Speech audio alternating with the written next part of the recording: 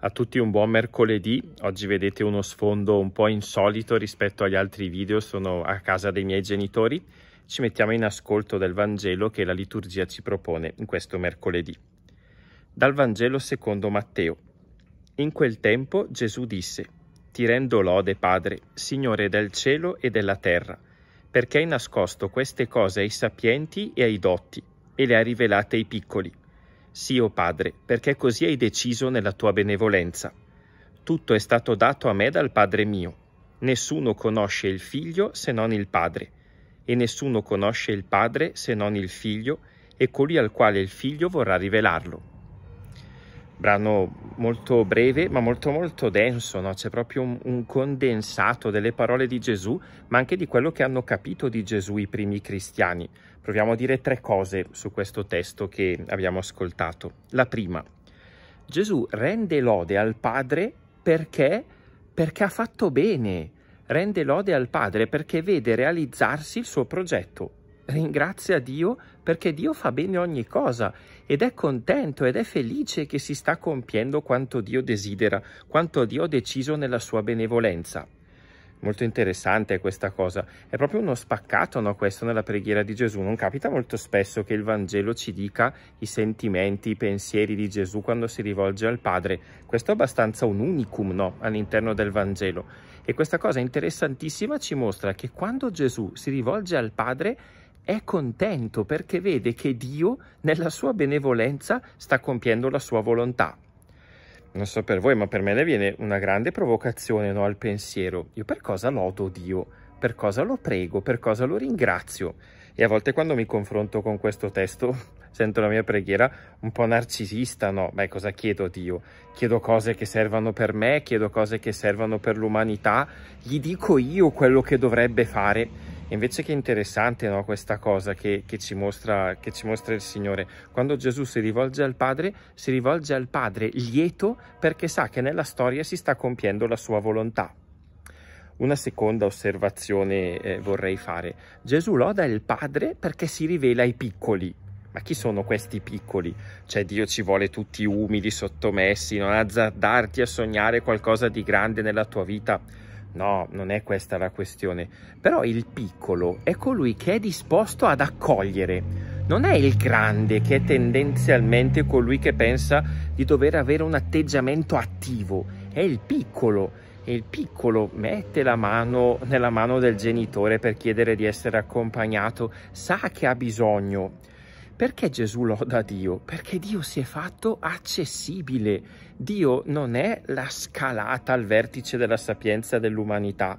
Gesù loda il Padre perché il Padre, per chi è disposto ad accogliere, si rende disponibile.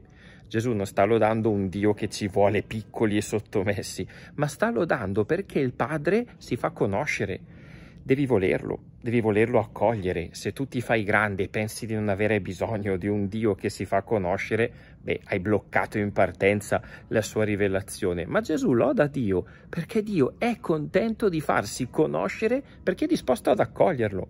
Guardate che è una gran bella notizia eh, nella storia quanta umanità si è messa alla ricerca di Dio Gesù loda il Padre perché vede che il Padre invece desidera lui farsi conoscere, desidera lui eh, incontrare i propri figli, desidera lui nutrire, sostenere coloro che accettano di accoglierlo. Ecco, questa è, è la grande notizia no, per cui Gesù loda il Padre nel testo che abbiamo ascoltato oggi un'ultima riflessione nella, nella, nella, parte finale no, del testo di, di, oggi. Tutto è stato dato a me dal Padre mio. Nessuno conosce il Figlio se non il Padre, e nessuno conosce il Padre se non il Figlio e colui al quale il Figlio vorrà rivelarlo.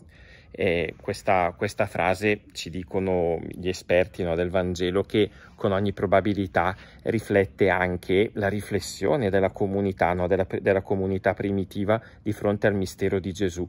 E c'è dentro tutta la meraviglia no, dei piccoli, della, della Chiesa che ha accolto il messaggio del Padre, si è fatta piccola e dicono noi in Gesù abbiamo incontrato tutto di Dio con, siamo contenti di Gesù, perché chi conosce il Figlio conosce il Padre.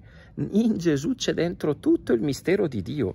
Questa è proprio la confessione di fede dei piccoli, cioè della prima Chiesa, che dice abbiamo accolto questo messaggio e abbiamo visto con stupore e con meraviglia che eh, che Dio si è proprio fatto conoscere nel figlio, che grazie al figlio si è fatto conoscere.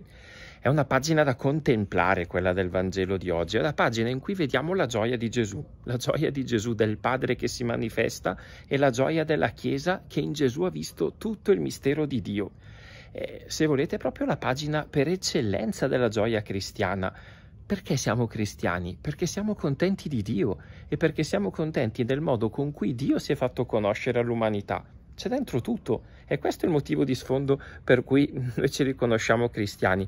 E questo è il motivo di, di, di fondo per cui la Chiesa è contenta di riconoscersi piccola. Siamo coloro che godono della volontà di Dio di farsi conoscere e in Gesù abbiamo scoperto tutto il mistero di Dio, non c'è più nulla da aggiungere. Se tu aggiungi qualcosa al Dio che ha rivelato Gesù, non stai incontrando Dio, ti stai facendo grande, non stai accogliendo, stai tu imponendo a Dio di essere qualcosa che Lui non è. Ecco, mi verrebbe da dire così, no? la pagina che la liturgia ci regala in questo mercoledì è proprio una pagina da contemplare e da gioire. Noi siamo i destinatari della rivelazione di Dio, Dio vuole rivelarsi, ci ha detto tutto in Gesù e continua la sua opera nel mondo. Questo deve essere il motivo di fondo no? che sostiene la nostra gioia nell'incontrare il Signore, nel pregare, nel vivere la nostra vita quotidiana. Grazie per aver seguito questo momento di ascolto della parola e auguro a tutti di cuore un buon mercoledì.